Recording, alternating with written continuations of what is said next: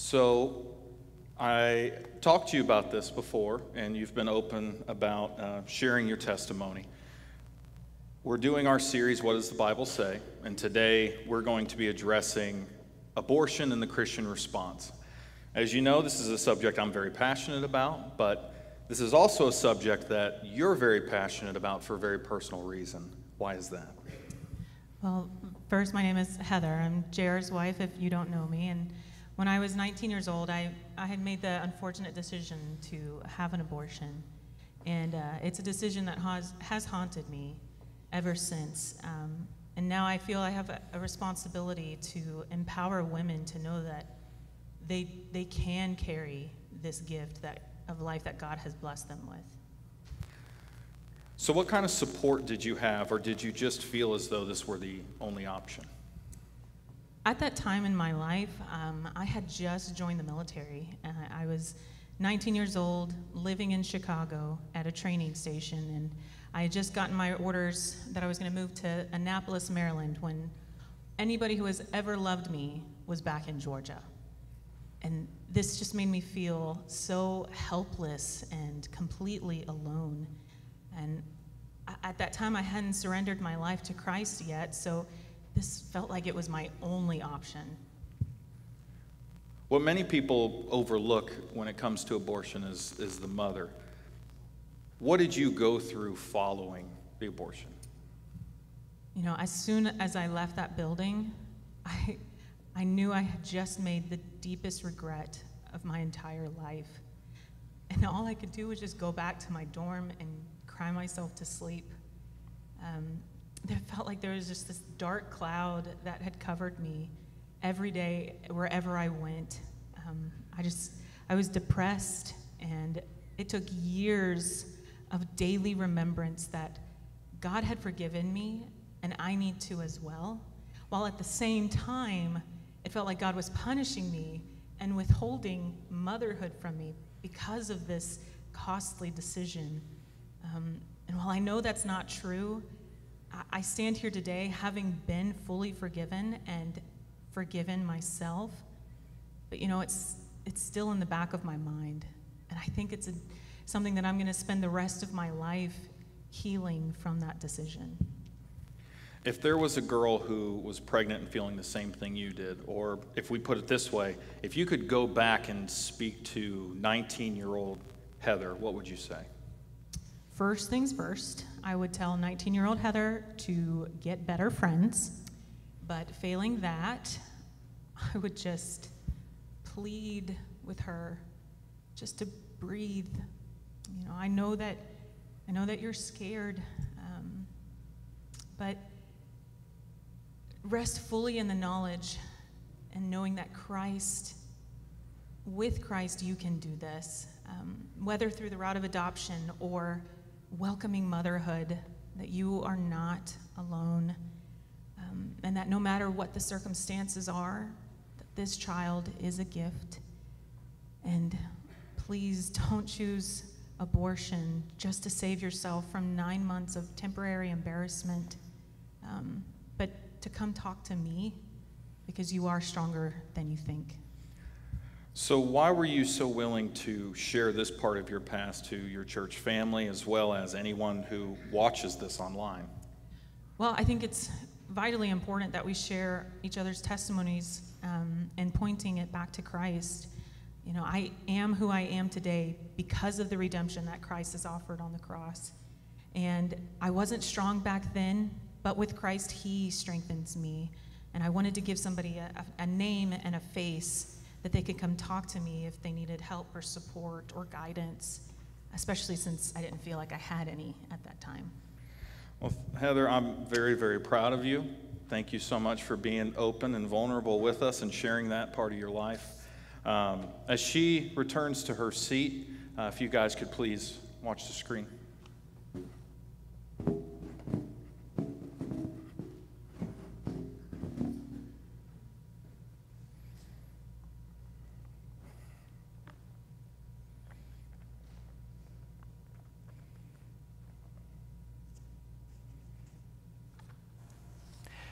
Right where you are, I just want you to, right there in your seats, just shut your eyes. What you're about to hear are the sounds of metal BBs striking the side of a tin can. For every BB that strikes, it represents 10,000 lives lost in the wars of America's past. 10,000 lives for every BB. This is the reality of what is occurring in your country. The American Revolution, the Civil War, World War I, World War II, the Korean conflict, the conflict in Vietnam, September 11th and the War on Terror. Since 1973, the War on the Unborn Child.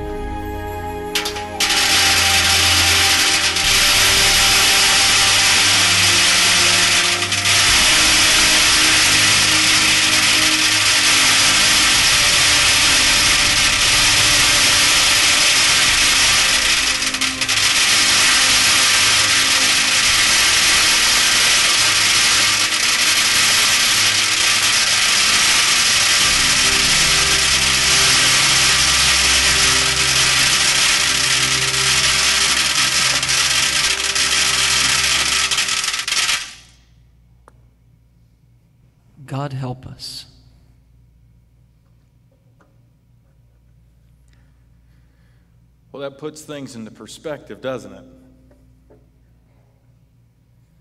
Now, today I'm not going to stand up here and feign neutrality. I'm not neutral on this issue, and no Christian should be. And I'll say it outright no Bible believing Christian should be pro choice.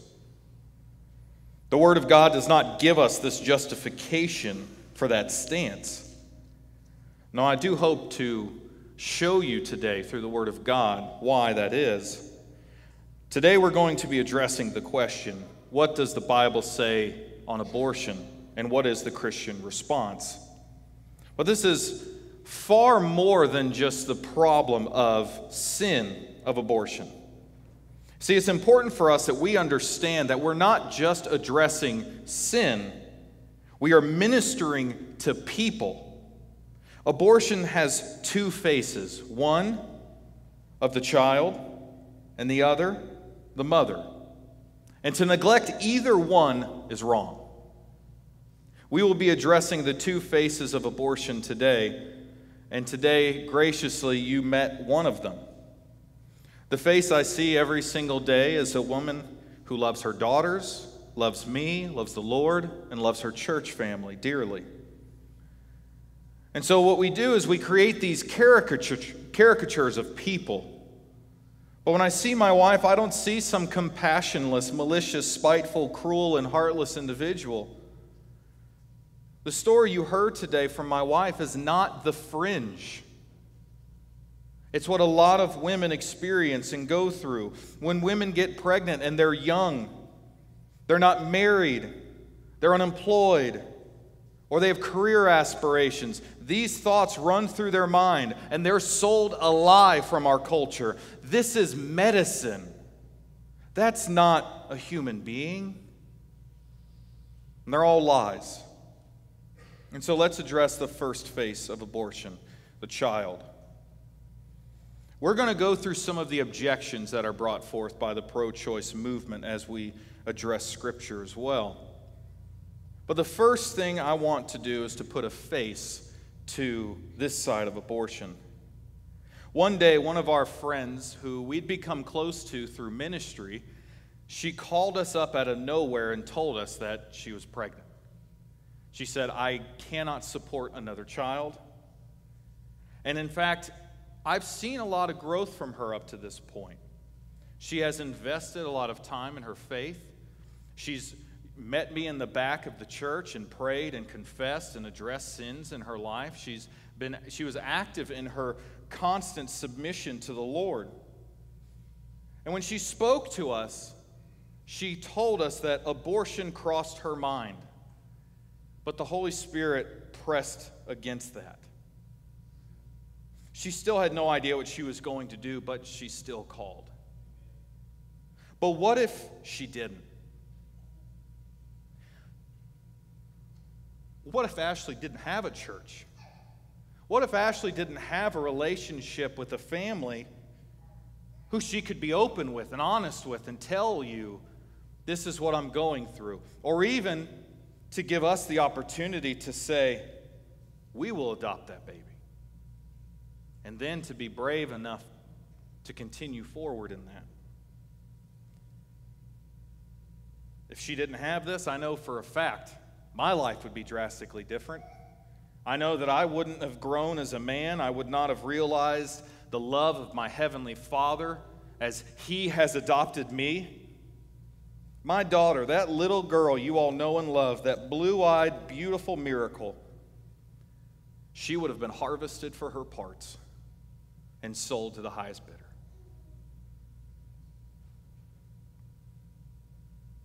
Abortion has a face. At this time, I'd like for you to turn to Psalm 139 with me. There's two passages of Scripture we're going to be going through today. Psalm 139 is the first, if you want to make note. John 4 is the next. But right now, we're going to go through Psalm 39 and look at a couple verses. But what we're going to do is we're going to look at a few verses and we're going to stop and we're going to address what these verses mean because this this passage of Scripture gives us an answer to the face that we're addressing now. The Bible talks about the face in the womb. And so, as we begin to go through Psalm 139, we're going to begin at verse 13. The psalmist writes For you formed my innermost parts, you wove me in my mother's womb. You see, the author's describing this intimate process of creation. This word for cover, or this word for creation, or, or that you've wove me together, or you created my innermost beings, rather, this is also used when speaking of the cover, God's covering, almost as to describe his protection. And so this adds an incredible depth to the text as well as we consider that this creation that the psalmist is referring to also speaks of the covering that God gives us. You see, it was once said that the safest place on earth is the mother's womb. And this author knew that the womb not only was the place of creation, but it was also the safety which God had provided to cover the child. Verse 14 I will give thanks to you because I am awesomely and wonderfully made. Wonderful are your works, and my soul knows it very well. Awesomely is a word that in some translations it says, I am fearfully made. But this is a word that is meant to bring inspired reverence. It's to cause astonishment. It, it, provokes in the person a sense of awe to the Creator. And so the psalmist is not having a Kanye West moment here where he's like, Boy, I'm awesome.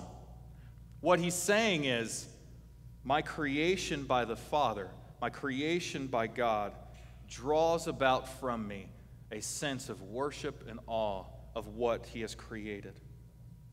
Verse 15 My frame was not hidden from you when I was made in secret and skillfully formed in the depths of the earth. You see, this verse begins to draw more to the surface. My frame was not hidden from you.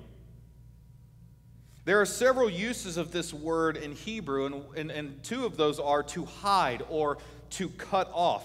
And so the author is stating that his form, who he was, was not cut off from the Father at any moment, but that there was a knowledge of him. And this is important because elsewhere in Scripture, we see this being communicated. When God spoke to Jeremiah in Jeremiah 1, the first part of verse 5, he says, Before I formed you in the womb, I knew you. And this know is not simply this, oh yeah, I'm familiar with. This know, which is cited in, in, Jeremiah 1, but alluded to in Psalm 139, is a knowing by experience. Now, this is going to be kind of difficult for us to wrap our minds around, but we, we need to try. God is omnipresent, He's not bound by our time and space, which means He can fully know who we are, know our quirks, know our failures, know our mistakes, knows us by experience before we were ever born. Another interesting detail in verse 15 is it says, skillfully formed. This is a process of mixing colors. So, take painting, for example. I still grew up in a generation where you would randomly flip through channels and uh, you'd come across Bob Ross. And if Bob Ross didn't make you feel like a failure, I don't know what did. What he was able to create so effortlessly but the way he did it by mixing the colors, by creating, you see what he's making, and does, you try and follow along, but you give up three minutes in, and then you just marvel at his ability. But the mixing of the colors, it's important because if you're going to have shade here, you're going to have a burst of color here. It's so vitally important that the mixing of those colors is perfect. You see, this communicates the remarkable detail of the person and the mixing that takes place to shape who we are in the womb, who we are going to be. It communicates a beautiful image of God's workmanship.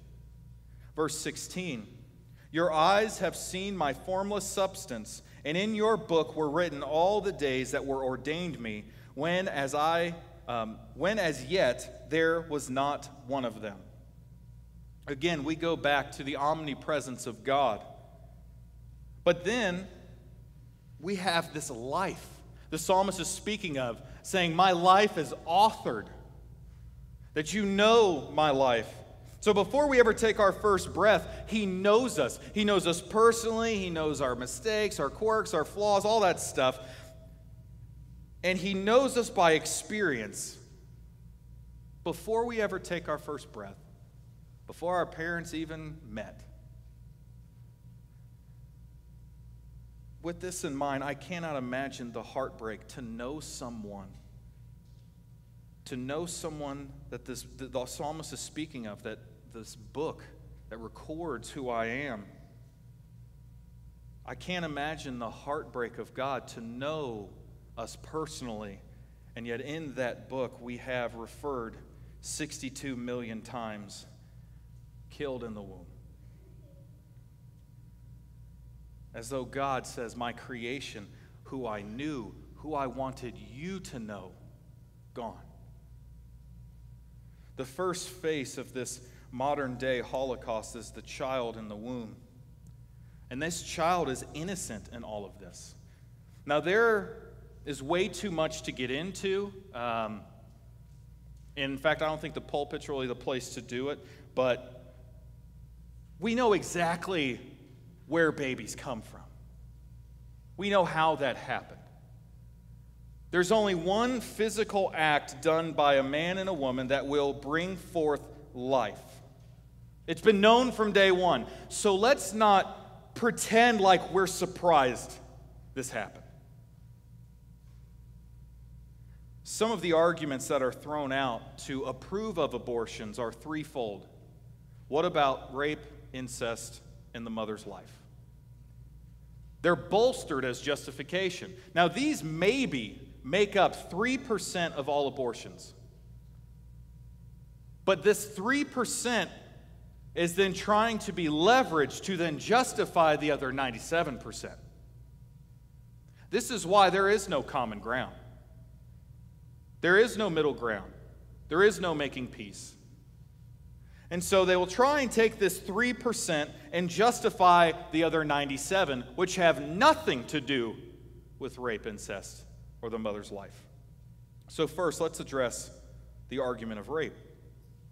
Certainly, in the time and place that the Bible was written, especially in the Old Testament, human rights were hard to find, especially for women.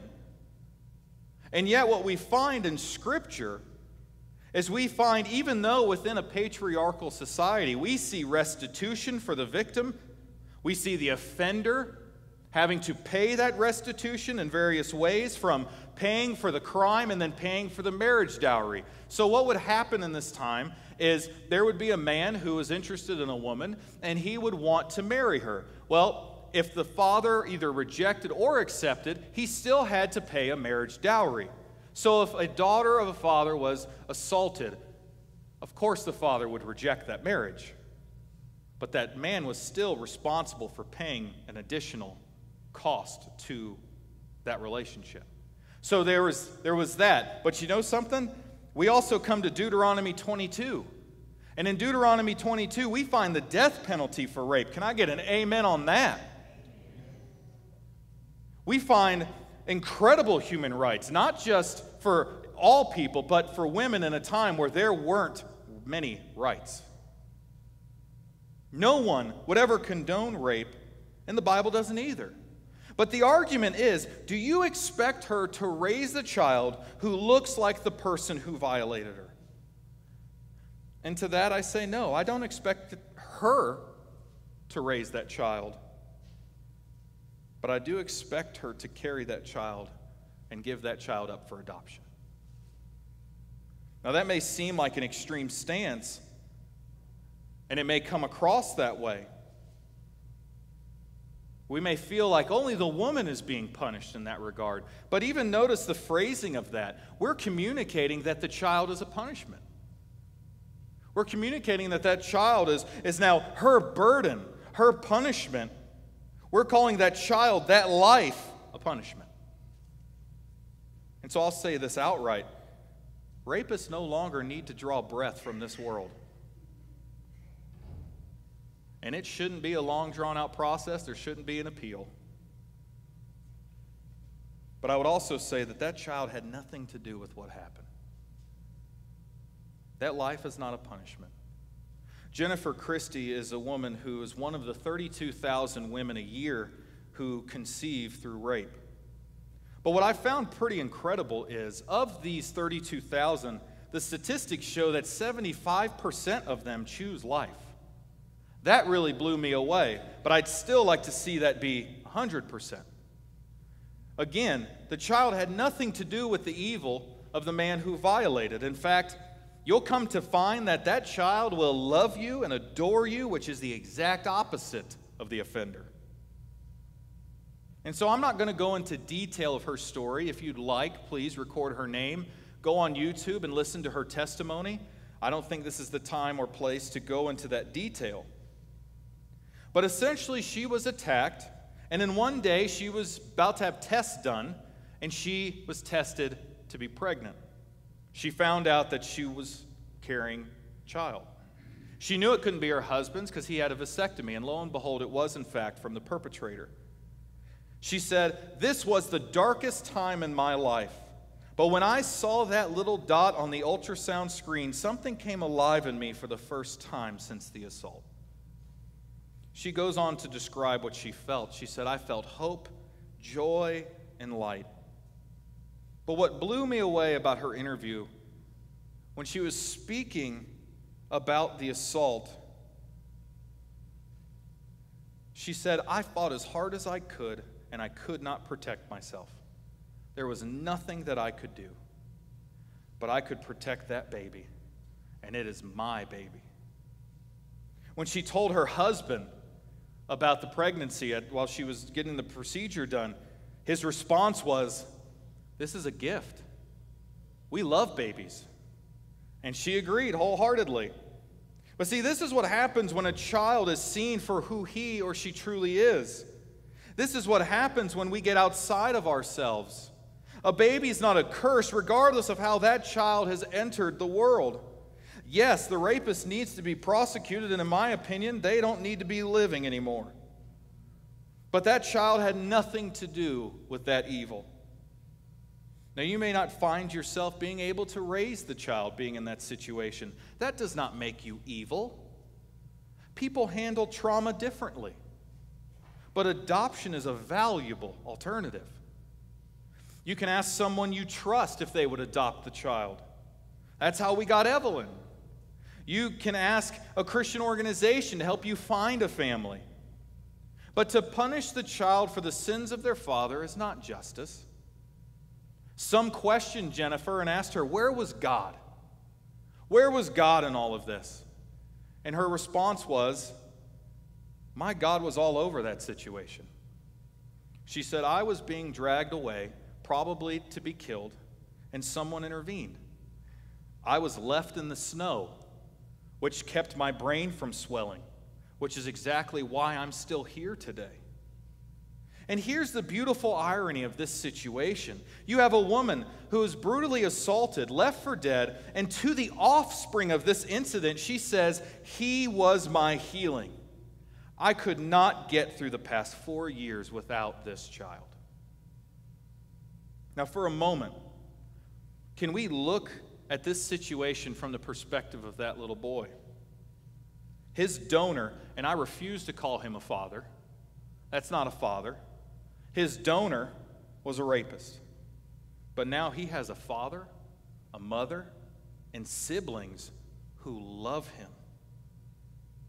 And it's like from this perspective, this family seems to sound exactly like Joseph in Genesis chapter, or chapter 50, where he says, As for you, you meant evil against me, but God meant it for good. Yes, even God can redeem this. Well, what about the case of incest? First, once again, we're dealing with taking the sins of a perpetrator out upon an innocent person. And so, allow me to introduce to you Kristi Hofferber. Her story began, or at least she thought it began, when her mother was 16 years old. She didn't really want any more information about her, her family until she hit 30. And about that time, she really believed that there were questions that she needed to be resolved. So she searched for her mother. She said, What I found out was something that I was not really prepared for. Her mother was conceived by the rape of her father.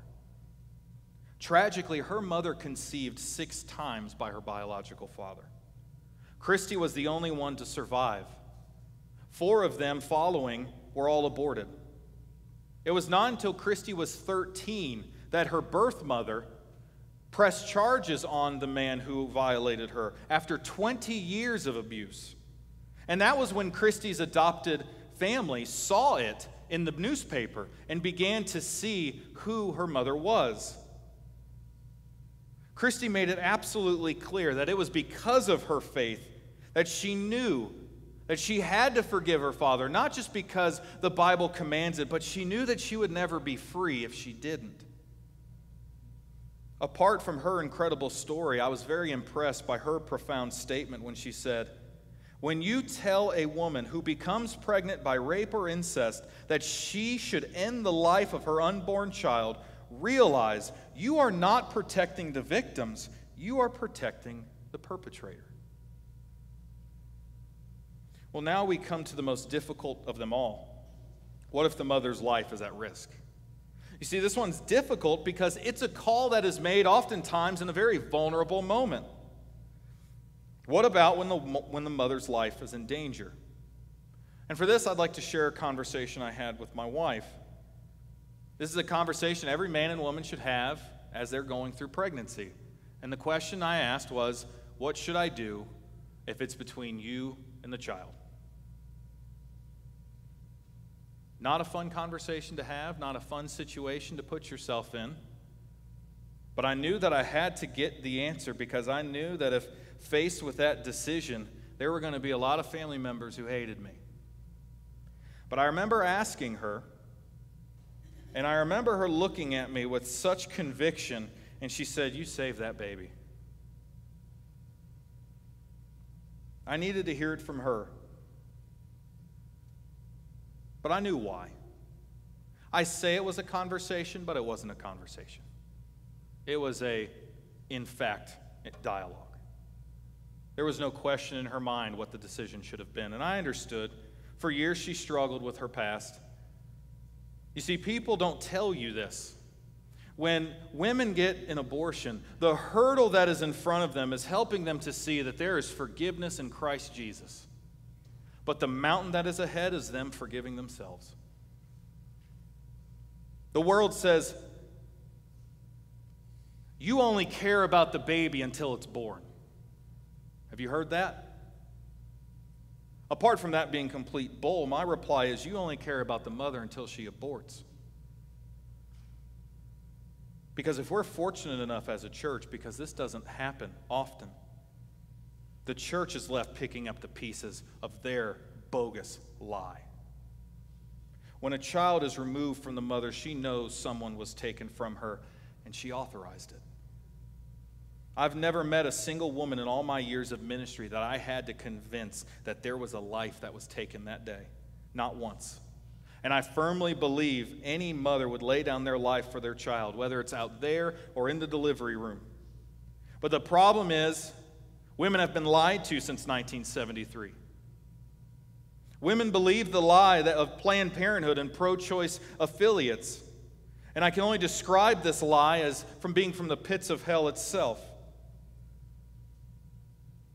Now, understand, I would have hated to have made that call. 2020 was a rough year for everyone. But I'll be honest with you, from February to May, when Evelyn was born, that period of time during quarantine was the best time of our marriage. Don't go outside. Perfect. I'm a homebody. What do we do? We went down into the basement almost every night. We played ping pong. We watched one of the few shows we liked together, River Monsters and we hung out every night. We spent so much time together. It was wonderful. Well, I would have hated making that call. I would have hated having to say goodbye to my best friend. But you told me to save that baby. And I knew it. And I knew that's what needed to be done. But praise God, I didn't have to make that call. Now I get to have my two girls and my best friend all together. But her conviction shares even in the very words of Jesus, where he said, No one has taken up my life from me, but I lay it down. Thank God he spoke of that, of our salvation. A Bible believing Christian has no grounds to be anything other than pro life. We recognize that the Bible teaches that we are Genesis 1:27, that we are image bearers of God, that we were created in his image, male and female. We understand that the scientific facts and biology are on our side, that upon conception, we see a unique human being being formed in the womb. Most women don't even find out they're pregnant until at least five weeks later. And by this time, which is the embryonic period, the baby's major system structures develop blood cells, kidney cells, nerve cells, their brain, spinal cord, their heart begins to develop. If left to run its course, pregnancy always brings about a human being. Now, I know that sounds stupid, of course. But the reason why this is so important for us to understand is that if pregnancy left to its own processes never brought about anything other than a human being. Which means there is no reason why we should call what is in, who is in the womb anything other than a human being. No one ever had a dog. Every single time it is a little boy or a little girl, and to call that child anything other than a human being is a lie. But here's what we do Here's what society has done if we rename it, if we call it something else, we can justify this. That's not a human being, that's an embryo. That's not a human being, that's a clump of cells. Let's rename it so that it's not so bad. The Bible is very clear in Deuteronomy 5:17 now, understand, I'm speaking to the skeptic or stiff necked. I'm not speaking to mothers. I'm not speaking to anyone who has had or struggled with their decision of an abortion. I'm speaking to the stiff necked at this point. Deuteronomy 5:17 says, "You shall not commit murder." Abortion is murder. Exodus 20:13, "You shall not murder." Now the hard-headed might say, "Well, it's not murder." Okay. Uh, Leviticus 24:17, the first part says, now, if you, now if someone takes any human life, well, what's the punishment? God says you are to be put to death. And so please understand, I'm speaking to the skeptic. There's no denying, apart from rejecting science and biology, to identify who is growing in the womb, but as anything other than a human being. Now, as Christians, we know that we are fearfully and wonderfully made. We know we respond to sin, but we have to understand that if we respond to sin with sin, it will not bring resolution, it will not bring healing, or remove what has happened. God can and will work in the midst of suffering, but when we try and take it into our own hands, we create more. We suffer more. We make a cut, a laceration. We cause more harm to ourselves. The first face of abortion is innocent. Maybe you've made a mistake. You've had a one night stand. Maybe some immature coward abandoned you. Maybe you're unable to provide for the child. Maybe you're a victim of a horrible act. The first face of abortion had nothing to do with that. Whether it was a poor decision on your part or an evil one by someone else, the child in no way is responsible for it. But let's talk about the second face of the mother. If you could, please turn to John chapter 4. John chapter 4.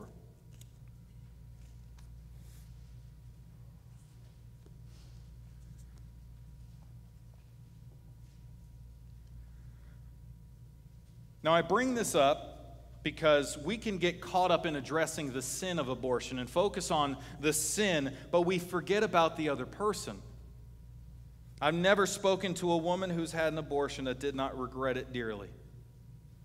So when we speak against the sin, oftentimes we forget that there are very real people involved.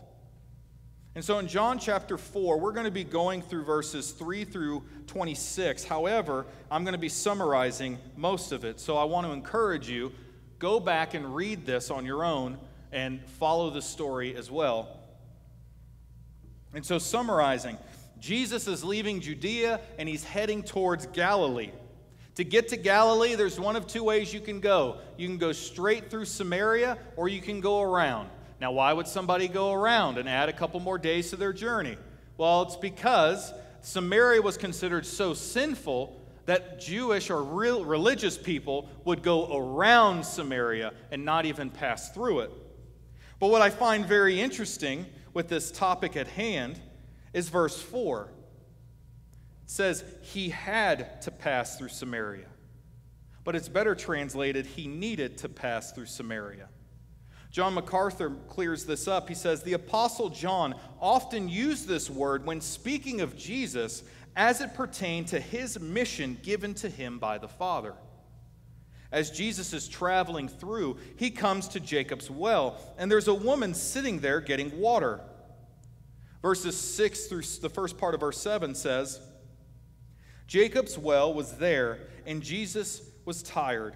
And as tired from his journey, sat down at the well. It was about noon. A woman of Samaria came to draw water.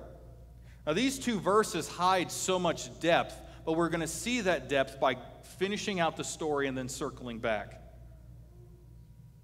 And so, Jesus, having a conversation with this woman, he's slowly revealing to her that he is the Messiah. He asks for a drink. She's blown away because she knows that he's a Jew, and she's blown away that this Jewish man would ever engage her, a Samaritan woman, and ask anything from her, no less for sustenance. Jesus tells her that he is the living water. Well, she takes this literally, and Jesus continues to speak to her of salvation through this living water. She wants this water. Though she's still taking this literally, Jesus says to her, beginning in verse 16, He told her, Go, call your husband and come back. I have no husband, she replied. Jesus said to her, You are right when you say you have no husband. The fact is, you have had five husbands, and the man you have now is not your husband. Verse 25 The woman said, I know that the Messiah, called Christ, is coming. When he comes, he will explain everything to us. In verse 26, if anyone had any question, as, as Jesus ever declared to be the Messiah or become or be God, Jesus declares it right here, verse 26. I am the one speaking to you. I am he. Now we go back to verse 6 and 7. Jesus reveals to her that he's the Messiah. And so he's offering her salvation. And that salvation is in light of knowing everything she's done. He's speaking to her, having known already everything she's done. He's engaging. He's asking for water. He's telling her about the Messiah. He's telling her about himself, knowing everything about her. Verse 6 Jacob's well was there, and Jesus, tired as he was far from his journey, sat down by the well. It was about noon. Now, this woman, as a result of her past, which Jesus discloses, this past made her an outcast. So, where she lived, she could have gone to closer freshwater sources, but she avoided them. But not only that, she, it also says that it was about noontime. So she's walking farther at the hottest time of the day. Why? To avoid people. When they gathered water, they would do it in the mornings and in the evenings, and yet this woman has chosen, when it is the hottest, to, to walk the farthest just so she can get away from the ridicule, the scoffs, the mocking.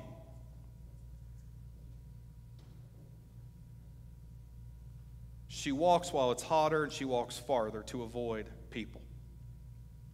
But remember what the text said. She that Jesus needed to go through Samaria. She's why. Now, I'm not going to sugarcoat it, church. Regardless of the situation, when a woman is pregnant and afraid, she needs to see what we find here as Jesus goes to her. When all the religious folks are saying, no, just go around, avoid her altogether. Don't waste your time. She's a lost cause. What she's done is too much. The religious have plenty to say about that. Instead, we see Jesus needed to go to Samaria. And I think of my wife in a time like this. When a young girl is facing an incredible responsibility, still being a child herself, now being pushed into adulthood, overwhelmed by what lies ahead. What will people think of me? What will my family say? What will I do? How can I support this child? And that's where the church needs to meet her. We need to meet her at that well with Jesus. We, when this young girl or woman is terrified by the questions that are weighing her down, the church is the place she should be able to come to. But instead, they would rather walk where it is hotter and walk even farther just to avoid these doors and confess what has happened. And that's our fault. We failed. Now, I understand the vast majority of pregnancies are brought about by a mistake. Poor decisions, one night stand, dating the wrong guy, the list goes on. But I also understand that there needs to be some semblance of repentance on her part. But when the church communicates to a woman that she messed up royally, we are communicating to her that who grows in her womb is a mistake. How many women would have avoided the murder of their child had a church come along and said, You're going to be okay?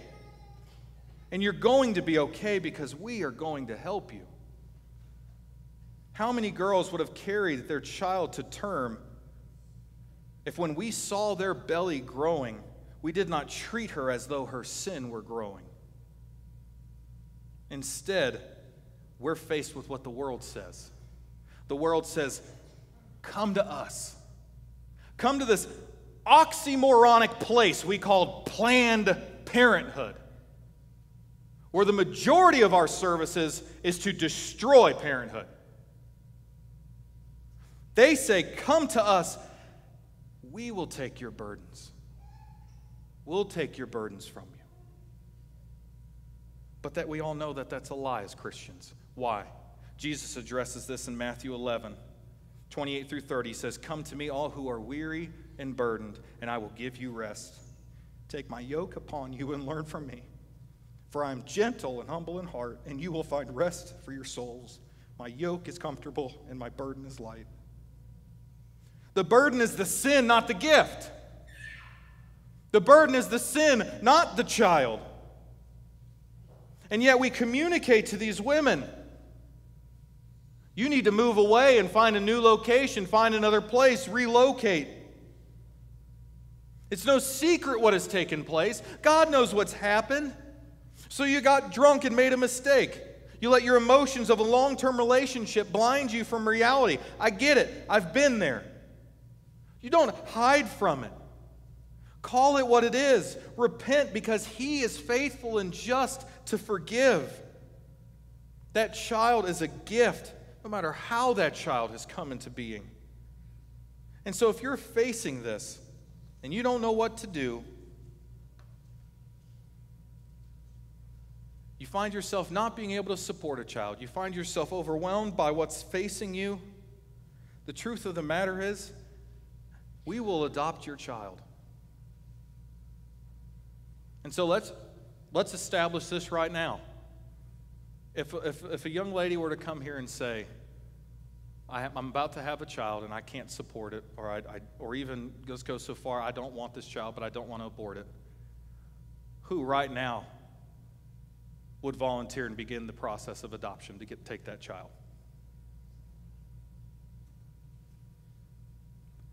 The church needs to be the place where people can come, where people can say, This is what I'm going through. This is what I've, this is what I've done. I need someone to take care of me. I need someone to care for what I've done. I need someone to take care of this child. Abortion is not just the time in which a child is taken away. For a woman, they take a piece of your heart that day. I've seen too many women haunted by this mistake, and God bless her, you met one of them today. Church, we need to go through Samaria. If people cannot be open about their past, cannot communicate their fears, talk about their mistakes, cannot confide in the doubts that they have, if they can't do that here, then where on earth can they? If they can't come here and be honest with us about what's going on in their life, even if they have evidence of their sin, see what separates me from someone who has gone through this, one, I'm a guy. You don't know. The difference between my sin is there and theirs is you see some sort of eh, semblance of, of that gift growing inside of them. But men, we're, we're not exempt from this. Why, why, why do women feel as though this is the only option? Because too many boys in grown up clothes abandon the moment responsibility rears its ugly head. We're not exempt. There's repentance that many men need to have because we're just as responsible. But the truth of the matter is that the cross was big enough for all of our sins. There's not a single sin that you could fathom that did not make it up on that cross. Every single sin you've ever committed, every single sin you're going to commit, is on that cross. So if for a single moment you think that it's too much, I remember a pastor told me this once JR, your sins didn't break that cross. And because it didn't break, you know, every one of them were brought to an account. And maybe that's something you need to hear today. You think your sins are too big for that cross. Well, guess what? It didn't break. And the Bible says that He is faithful and just to forgive. Why? Because those sins have already been brought to an account. So maybe you're here and maybe this is something that hits home. Maybe it's something that you've never really addressed. It's something you've never talked about with anyone. Allow us to help you through that recovery. Allow us to help you through that healing. But maybe you're sitting here today and it has nothing to do. Maybe you're just up here like me and you're just thinking about how much you love your kids and how you're falling short. Maybe there's something like that you need to talk about. Hey, I need, I need to love my kids better. I want to be a better husband. I want to be a better wife. Whatever it may be, meet me in the back. We'd love to be able to minister to you, encourage you, and equip you to take those steps in Christ. Let's pray. Father God, we thank you for this day. We thank you for your word. We thank you, Father, for the clarity that we have. We thank you, Lord, for the depth in which your writers have communicated to us. I know this subject matter is a very sensitive one. I know it's one that everyone is very passionate about. But I do pray, Father, that if we find ourselves trying to straddle the fence, we find ourselves trying to compromise to find middle ground, that we understand that this world is not looking for middle ground. And neither should we. Lord, I pray that if there's anyone here who's going through this, if there's anyone who's listening online, that they would reach out to us and allow us to come alongside them and either help them through this pregnancy or, if need be, to adopt their child upon the birth. Lord, we thank you for life. We thank you for the life that you have blessed us with. Regardless of the suffering and hardships many of us have gone through, we are th- so thankful, Lord, for the life that you have blessed us with. We ask you, Lord, that you continue to work in our lives, sanctify us, make us more like your Son, that we can better love those around us and love those who need a Savior. It's in Jesus' name we pray. Amen.